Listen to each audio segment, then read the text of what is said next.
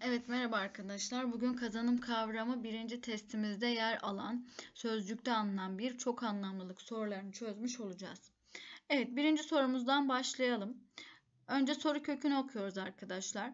Buna göre numaralanmış sözcükleri sözlük sırasına göre nasıl sıralamalıdır diyor. Evet Yağmurla birlikte toprak da yumuşadı, hatta biraz kayganlaştı. Yağmur sırasında ya da sonrasında yumuşamış toprakta çivi oyunu oynayabilirsiniz. Bunun için ucu sivri bir tahta parçası ya da uzunca bir çivi bulmanız yeterlidir. Merve okuduğu metinlerde anlamını bilmediği sözcüklerle bir sözlük oluşturacaktır.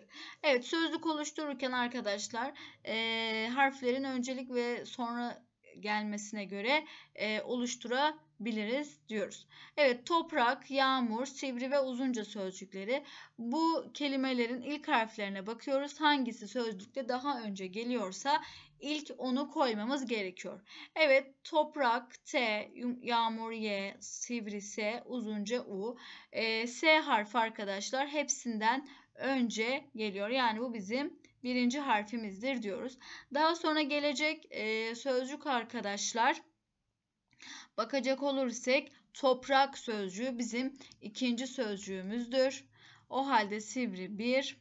Evet toprak 2. Yağmur ve uzunca sözcüklerine bakacak olursak U harfi Y'den önce geldiğinden dolayı uzuncaya 3. Evet yağmura da 4 diyoruz. O halde cevabımız ne olacak bu durumda? Evet denizli olacak diyoruz. Devam edelim. Bu parçada numaralanmış cümlelerden hangisi mecaz anlamıyla kullanılmıştır? Yani gerçek anlamın dışında e, kullanılan anlama bakalım. Bahar güneşi Tuna'nın durgun sularının üzerinden geçen zincirli köprüye gölge düşürmüş. Arkamda sade ve anıtsal yapılarıyla Buda tepeleri, önümde ise hareketli peşte dümdüz uzanıyor. Bu şehrin göz alıcı manzarası beni büyülüyor.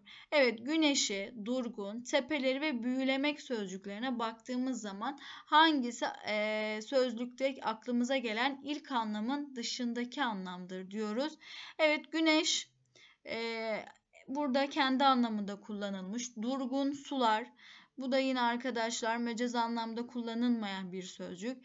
Tepe bu da kendi anlamında kullanılmış ama büyülemek deyince aklımıza e, ne gelecek arkadaşlar? Büyülemek mecaz anlamda kullanılmış bir sözcüktür. Beni büyülüyor derken orada etkilemek anlamında kullanılmış bir sözcüktür. O halde mecaz anlamda kullanılan sözcük denizlidir diyoruz.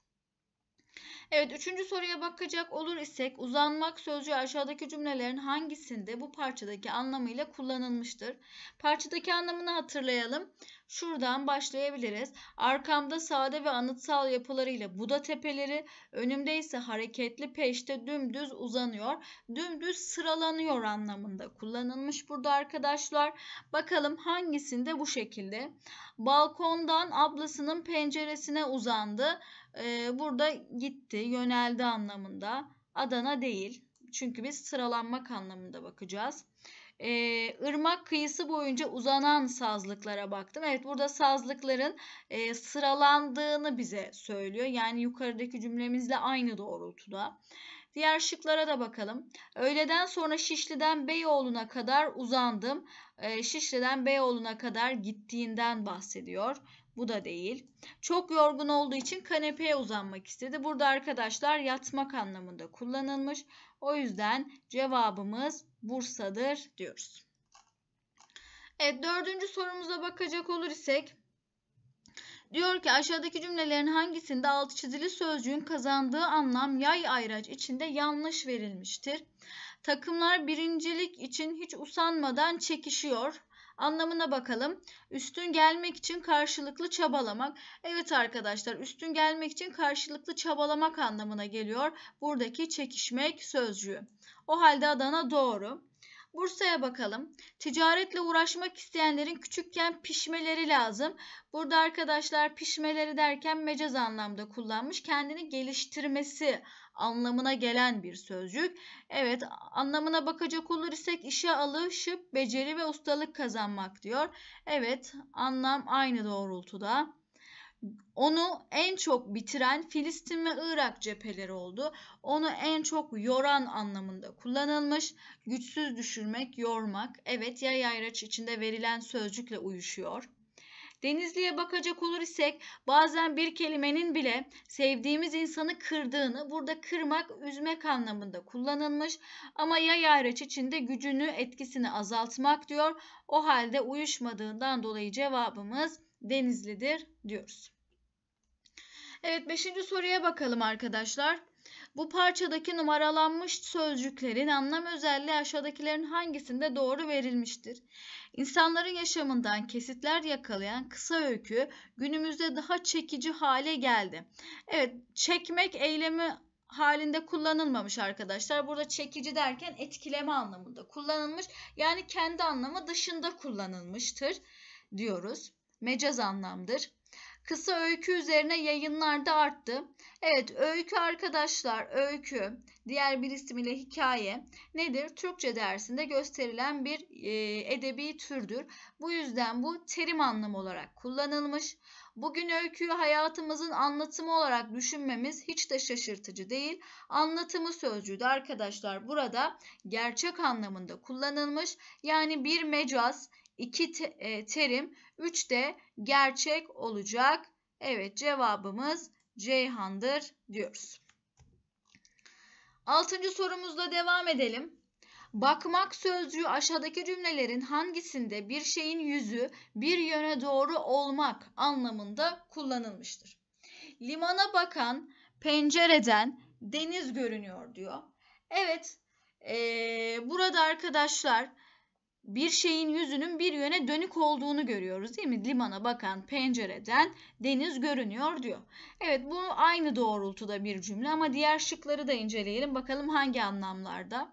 Yıllardır beş çocuklu bir aileye bakıyor. Yıllardır beş çocuklu bir aileyi geçimdiriyor, geçindiriyor anlamında, geçim anlamında kullanılmış arkadaşlar Bursa. Saatini bulamayınca üzgün gözlerle etrafa baktı. E, bu gözlemlemek, izlemek, seyretmek anlamında, bakmak, gerçek anlamında. Dilekçelere karşı masadaki bayan bakıyor. Burada arkadaşlar bir işi yapmakla görevli olmak, ilgilenmek anlamında. O yüzden limana bakan pencereden deniz görünüyor dediğimiz cümle bir şeyin yüzünün bir yöne dönük olması anlamında olduğundan dolayı cevabımız Adana diyoruz.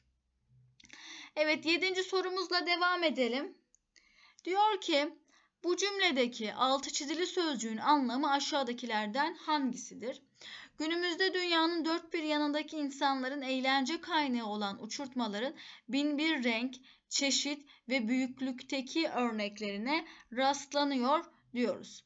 Evet, e, buradaki çeşit sözcüğünün anlamı arkadaşlar e, aynı türden olan e, nesnelerin e, farklı yapılarıyla birbirinden ayrılması anlamında kullanılıyor. Bakalım bir şeyin nitelik veya nicelik bakımından değerli olma durumu bu bununla alakalı değil. Bir şeyin bir yerdeki durumu bununla da alakalı değil.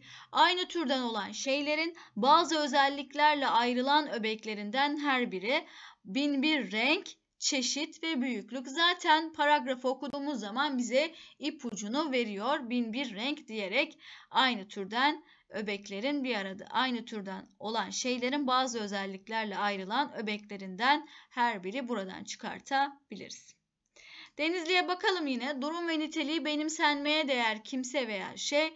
Bu da bununla alakalı bir e, anlam değil diyoruz. Evet 8. sorumuzla devam edelim. Numaralanmış cümlelerin hangilerinde terim anlamlı sözcük kullanılmıştır? Evet bakalım. Türkçe kök ve eklerden oluşan bir dildir. Şimdi kök ve ekler sözcüğüne bakacak olur isek ee, nedir kök ve ek? Hangi derste geçiyor? Zaten söylüyor Türkçe dersi diyor. Türkçe dersinde geçen e, bilgi olduğundan dolayı, Türkçe dersinde yer aldığından dolayı bunlar nedir arkadaşlar? Terim anlamdır. O halde birinci cümlem terim anlam. Şarkının notalarını unutunca duraksadı. Nota hangi dalda geçiyor? Müzik dalında geçiyor. Ee, yine aynı şekilde burada da terim anlamı olduğunu görüyoruz. Babam bugün yurt dışı gezisine çıktı. Burada herhangi bir terim anlam bildiren sözcük yok. Farklı etkinlikler yaparak da dinlenebiliriz. Burada da herhangi terim anlam bildiren bir sözcük yok. Cevabımız 1 ve 2 diyoruz. Yani Adana. Evet 9. sorumuzla devam edelim. Diyor ki dönmek sözcüğü aşağıdaki cümlelerin hangisinde bırakılan bir konu veya işe başlamak anlamında kullanılmıştır? Adana'ya bakalım. Hasta çocuk yatağında sabaha kadar döndü. Ee, buradaki döndü sözcüğü arkadaşlar kendini bir yandan bir yana çevirmek anlamında kullanılmış. O yüzden bununla alakalı değil. Eliyoruz. Ertesi gün aynı yoldan Ankara'ya döndük. Ee, burada Ankara'ya geri gittik anlamında kullanılmış. Bunu da eliyoruz. Ceyhan'a bakalım. Biz yine dersimize dönelim arkadaşlar. Derken e, biz yine dersimize devam edelim. Yani bırakılan bir konuya ve işe başlamak anlamında kullanılan bir cümle. Tekrar o işe başlayalım demek istiyor. Burada bir şeyler dönüyor ama anlamış değilim. Burada çevriliyor anlamında. Hani e, mecaz anlama gelecek şekilde kullanılmıştır. Bu da değil. Cevabımız Ceyhan diyoruz. Evet 10. sorumuzla devam edelim. Kurmak sözcüğü aşağıdaki cümlelerden hangisinde bir şeyi oluşturan parçaları birleştirerek bütün duruma getirmek anlamında kullanılmış. Dünyanın en büyük devletlerini kuran kimlerdi? Burada arkadaşlar en büyük devletlerini e, meydana getiren anlamında kullanılmış. Adana değil. Geniş bir çöl, geniş çölde çadırlarımızı kurup keşfe çıktık. Evet, çadırlarımızı e, oluşturduk. Yani bir şeyi oluşturan parçaları birleştirerek bütün duruma getirdik anlamında kullanılmıştır diyoruz. Diğer şıklara da bakalım. Derneği ilçede sevilip sayılan bir avukat kurmuştu. Evet burada da arkadaşlar e, yine bir avukat meydana getirmişti diyoruz. E, çocukça bir sevinçle kurduğu saat çalıyor. Burada e, kurduğu derken kendi düzenekleriyle, kendi şekil, e, kendinin kurduğu derken düzenlediği anlamında kullanılmıştır diyoruz. Evet cevabımız bu durumda Bursa oluyor. Evet 11. sorudan devam edelim. Altı çizili sözcüğün bu parçada kazandığı anlam aşağıdakilerden hangisidir? Kapıdan içeri girer girmez danışmadaki görevli beni güler yüzle karşıladı ve şöyle dedi. Dur söyleme kararını ben tahmin edeyim. Tamam sen söyle dedim. Annenden babandan izin kopardın artık bizimle çalışıyorsun değil mi? Bildin dedim gülümseyerek.